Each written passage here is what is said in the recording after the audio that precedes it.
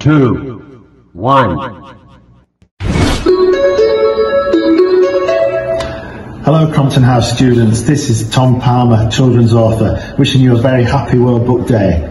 So are you ready? It's that time again. Drop everything and read.